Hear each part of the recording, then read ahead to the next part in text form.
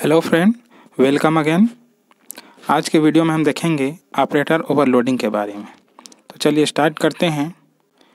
Operator overloading is a type of polymorphism in which a single operator is overloaded to give user defined meaning to it मतलब operator overloading polymorphism का एक प्रकार है, जिसकी सहायता से किसी ऑपरेटर के मीनिंग को पुनः परिभाषित कर सकते हैं। ठीक है? अब ऑपरेटर, आपको पता है है ना? सी प्लस प्लस में सिंबल्स होते हैं, जो कि एक या एक से अधिक ऑपरेंट के बीच निश्चित ऑपरेशन परफॉर्म करते हैं। जैसे मैथमेटिकल ऑपरेशन हो गया, है ना? लॉजिकल ऑपरेशन हो गया, है ना? जैसे आपका प्लस माइनस है ना? ये दो या दो से अधिक, एक या एक से अधिक ऑपरेंट के बीच गणितीय ऑपरेशन, तार्किक ऑपरेशन परफॉर्म कराते हैं, ठीक है? तो उन ऑपरेटर्स के मीनिंग को, है ना बेसिक मीनिंग को हम क्या कर सकते हैं? परिवर्तित कर सकते हैं मतलब पुनः डिफाइन पुनः परिभाषित कर सकते हैं, ठीक है? जैसे एग्जांपल के लिए मान लो प्लस ऑपरेटर है है ना? तो प्लस ऑपरेटर क्या करता है? वो कहना चाहिए जोड़ने का काम करता है, चाहे नंबर्स हो या फिर स्ट्रिंग हो, है ना? जोड़ने का काम उसका बेसिक काम है। तो यहाँ पे हम जो जोड़ने का काम है, ठीक है, उसको हम परिवर्तित कर सकते हैं चेंज कर सकते हैं, ठीक है? मतलब उसके जो बेसिक काम है है ना, उसके अलावा हम उसको और कहना चाहिए परिभाषित कर सकते हैं, जिसको हम ऑपरेटर ओवरलोडिंग कहते हैं, ठीक है? तो कोई भी ऑपरेटर हो, ठीक है तो उसको हम कहना चाहिए ओवरलोड कर सकते हैं, उसके जो बेसिक काम है है ना बेसिक उसका जो डिफिनीसन है, उसको हम पुनः क्या कर सकते हैं, परिभाषित कर सकते हैं। ठीक है एक्स्ट्रा काम हम वहाँ पे करा सकते हैं ऑपरेटर ओवरलोडिंग के माध्यम से। ठीक है? ओके चलिए। अब सी प्लस प्लस में कुछ ऐसे ऑपरेटर्स भी होते हैं जिसको कहना चाहिए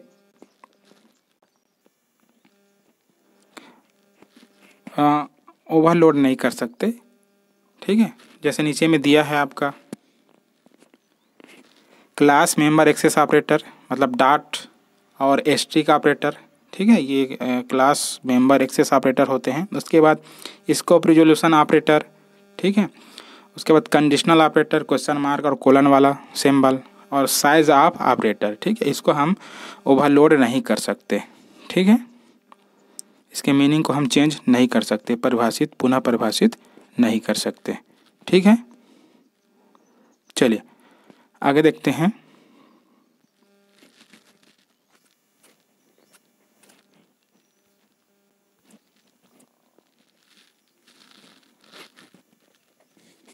सिंटेक्स देख लेते हैं इसका।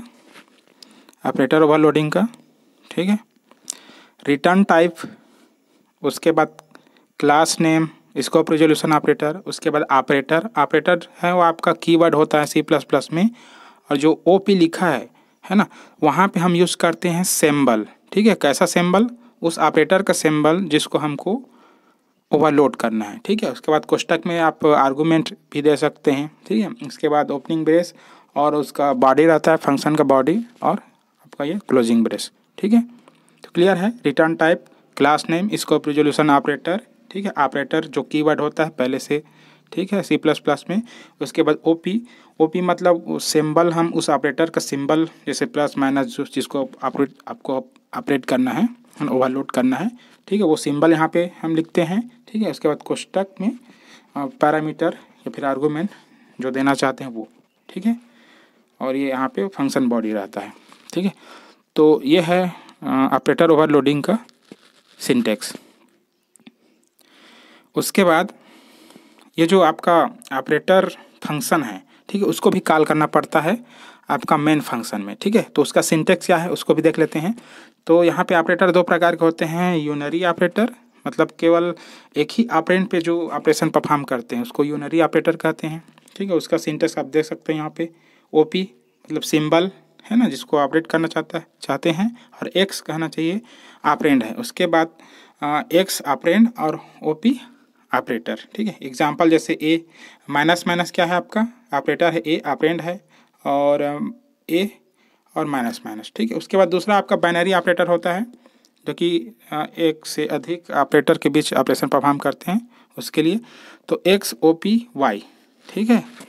एग्ज़ाम्पल में आप देख सकते हो यहाँ पे ए प्लस बी ठीक है? तो ये आपका बाइनरी ऑपरेटर का सिंटेक्स है, ठीक है?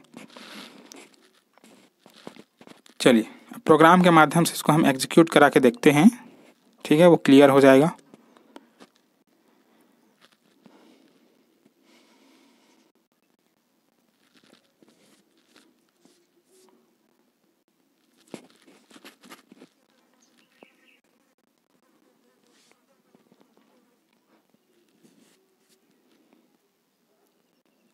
चलिए ऊपर में मैं कमेंट या फिर डॉक्यूमेंटेशन सेक्शन में मैं लिख देता हूँ, है ना?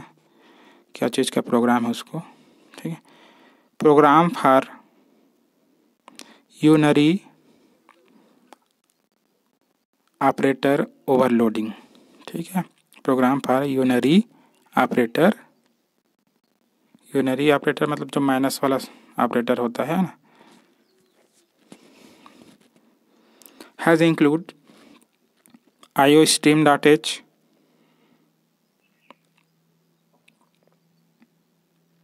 उसके बाद second header file has include conio dot H मतलब हम यहाँ पे जो माइनस ऑपरेटर है है ना? उसको ओवरलोड कर रहे हैं यूनरी ऑपरेटर के रूप में, है ना? चलो क्लास क्लास का नेम टेस्ट ओपनिंग ब्रेस और यहाँ पे प्राइवेट डेटा मेंबर हम ले लेते हैं तीन ए बी सी करके इंटीजर टाइप का डेटा मेंबर है। उसके बाद पब्लिक मेंबर के रूप में हम यहाँ पे एक मेंबर फ़ंक्शन ले लेते हैं void get data void get data ठीक है? और इसमें हम पैरामीटर लेते हैं, है ना? जो कि इंटीजर टाइप का होगा। तीन पैरामीटर हम यूज़ करते हैं इंट इंट और इंट है ना? तीनों इंटीजर टाइप का है।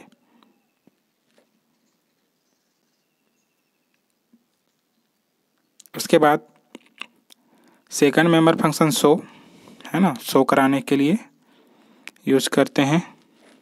उसके बाद अब यहाँ पे हम यूज़ करेंगे जो ऑपरेटर फ़ंक्शन है वो वाइड ठीक है? ऑपरेटर ऑपरेटर हमको पूरा ऐसा लिखना पड़ेगा ऑपरेटर ठीक है? उसके बाद उस सिंबल को लिखना पड़ेगा हमको। इसके बाद जैसे माइनस ठीक है? और यहाँ पे ब्रेकेट ठीक है? यहाँ पे हम कोई भी पैरामीटर यूज़ नहीं कर रहे हैं, ठीक है?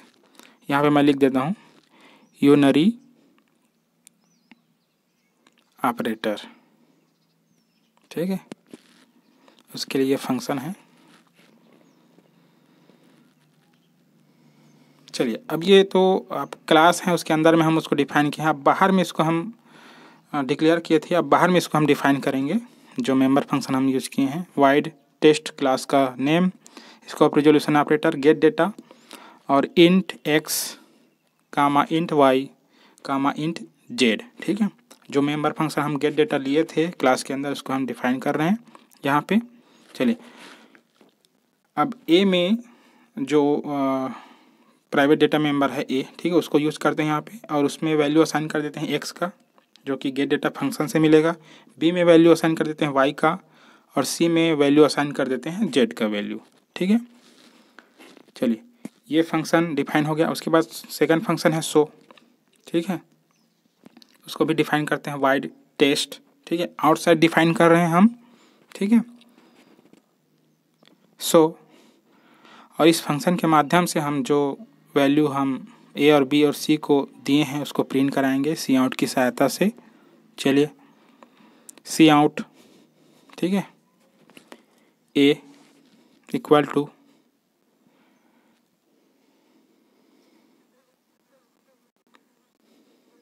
A endl ठीक है? उसी प्रकार बी को भी हम प्रिंट करा देते हैं सी आउट की सहायता से।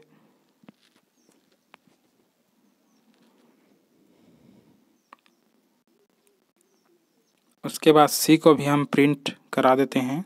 डिस्प्ले लग रहा करा देते हैं उसको।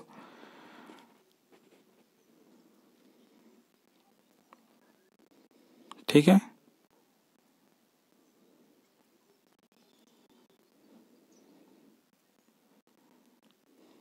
ये। अब ये सो फ़ंक्शन भी क्लोज हो गया यहाँ पे कंप्लीट हो गया। ठीक है? अब बच गया आपका ऑपरेटर फ़ंक्शन ठीक है? उसको भी हम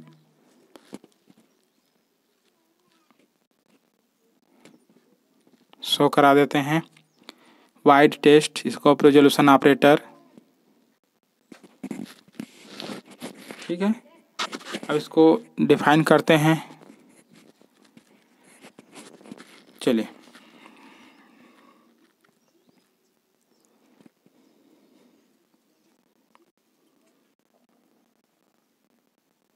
मतलब हम इस जो माइनस ऑपरेटर है यूनरी ऑपरेटर है ना? उसकी सहायता से कोई नंबर है है ना? उसका जैसे आप पॉजिटिव नंबर देते हैं तो उसको हम ये निगेटिव में कन्वर्ट करेगा, ये फ़ंक्शन और निगेटिव नंबर को पॉजिटिव नंबर में कन्वर्ट करेगा। ठीक है?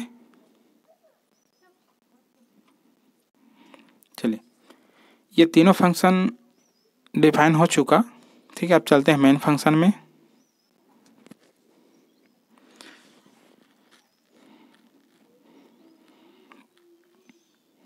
C L R S C R previous वाला आउटपुट को स्क्रीन से क्लियर करता है। उसके बाद अब यहाँ पे बनाएँगे ऑब्जेक्ट क्लास नेम और उसके बाद ऑब्जेक्ट नेम टी ठीक है? ऑब्जेक्ट नेम टी हम यहाँ पे रखते हैं। अब टी वन की सहायता से जो हमारे मेंबर फ़ंक्शन है, सबको कॉल करते हैं। T one dot get data और यहाँ पे ये पैरामीटर लेगा मतलब वैल्यू लेगा, क्योंकि ये, है ना? टेन दे देते हैं और माइनस ट्वेंटी दे देते हैं, है ना? और उसके बाद थर्टी दे देते हैं, ठीक है? तो जस्ट मीनिंग को चेंज करेगा टेन को माइनस टेन कर देगा, माइनस टेन को प्लस ट्वेंटी और थर्टी को माइनस थर्टी करेगा ठीक है? सो को भी हम कॉल कर लेते हैं, ठीक है? अब हम कॉल करेंगे जो ऑपरेटर फ़ंक्शन है उसको, ठीक है? ये देखिए, सिंटेक्स में बताया था तो माइनस और टी, ठीक है? यहाँ पे मैं लिख देता हूँ कॉलिंग ऑपरेटर फ़ंक्शन ठीक है, यहाँ पे हम ऑपरेटर फ़ंक्शन को कॉल कर रहे हैं। चलिए। उसके बाद सो को एक बार और कॉल करना पड़ेगा, है ना? ताकि हमको पता चले कि जो वैल्यू दिए हैं, उसमें चेंज हुआ है कि नहीं हुआ है उसको। ठीक है? तो सो को कॉल करा दिए फिर से, उसके बाद get C H built in function होता है, उसके बाद क्लोजिंग ब्रेस आपका मेन फ़ंक्शन कंप्लीट आपका प्रोग्राम भी कंप्लीट हो गया है।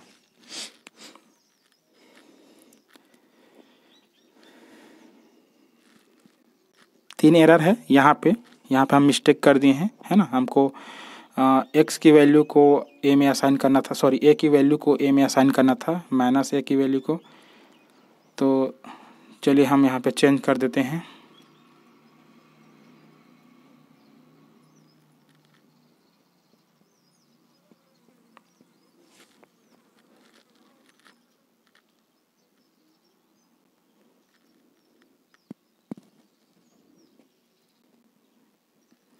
क्योंकि एक्स आपका ऑपरेटर का कहना चाहिए, वो वेरिएबल नहीं है है ना? वेरिएबल हम क्लास में यूज़ किए हैं ए बी सी ठीक है? तो उसको यहाँ पे हमको लिखना पड़ेगा, ठीक है? तो चलिए लिखते हैं यहाँ पे। देखो एरर तीन एरर है और ये तीनों में एरर है है ना? ऑपरेटर फ़ंक्शन के अंदर। उसको हमको सॉल्व करना पड़ेगा। चलिए, उसको ठीक करते हैं। चलिए, यहाँ पे रहेगा ए ठीक है? और यहाँ पे रहेगा माइनस ए ठीक है? और नीचे में रहेगा बी और माइनस बी उसके बाद सी उसके बाद माइनस सी ठीक है? अब ये ठीक है ज़ीरो एरर रन करा के देख लेते हैं।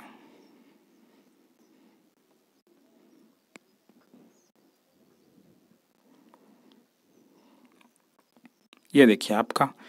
टेन माइनस ट्वेंटी थर्टी, ठीक है? उसके बाद जब कॉल किए हैं उसको तो माइनस टेन प्लस ट्वेंटी और माइनस थर्टी, ठीक है? मतलब जो प्लस में है उसको माइनस में कन्वर्ट किया है और माइनस में है उसको प्लस में कन्वर्ट किया है, ठीक है? चलिए एक यहाँ पे एक कुछ लिख देते हैं ताकि हमको पता चल जाए, है ना? चलिए यहाँ पे हम लिख देते हैं, क्या लिखेंगे? बिफोर ओवरलोडिंग ठीक है? मतलब ओवरलोडिंग से पहले जो हमारा डेटा वैल्यू था वो क्या था, है ना? और ओवरलोडिंग के बाद वैल्यू है वो क्या होगा, ठीक है? उसको हम यहाँ पे थोड़ा सा लिख देते हैं ताकि पता चल जाए। बिफोर ओवरलोडिंग, ठीक है? मतलब ओवरलोडिंग से पहले अगर हम सो फ़ंक्शन को कॉल करते हैं तो जो दिए थे पैरामीटर में, वैल्यू ग्रुप में, वो प्रिंट होगा। Ten minus twenty and thirty. उसके बाद जब हम ऑपरेटर फ़ंक्शन को कॉल करेंगे, उसके बाद फिर सो को कॉल करेंगे, तब वहाँ पे जो ओवरलोडेड जो वैल्यू रहेगा, वो हमको मिलेगा। तो आप, आफ्टर ओवरलोडिंग, ठीक है? अब यहाँ पे क्लियर। पता चलेगा। ये देखिए बिफोर ओवरलोडिंग मतलब ओवरलोडिंग से पहले क्या दिए थे हम? टेन दिए थे माइनस ट्वेंटी और थर्टी उसके बाद आफ्टर ओवरलोडिंग वो हो गया, है ना? Minus ten plus twenty and minus thirty ठीक है? तो इस तरीके से कहना चाहिए। ये ऑपरेटर ओवरलोडिंग काम करता है। थोड़ा सा स्पेस दे देते हैं ताकि स्पष्ट हमको दिखे, है ना? क्लियरली दिखे। एक बार फिर देख लो। आउटपुट को, देखो। बिफोर ओवरलोडिंग है ना टेन माइनस ट्वेंटी थर्टी उसके बाद after overloading minus ten plus twenty minus thirty ठीक है? ओके अगर ये वीडियो पसंद आया तो लाइक करो कमेंट करो शेयर करो और चैनल को सब्सक्राइब करो। Thank you